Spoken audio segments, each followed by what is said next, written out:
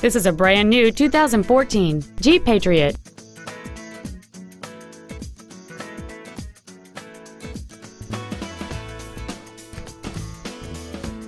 Its top features include heated seats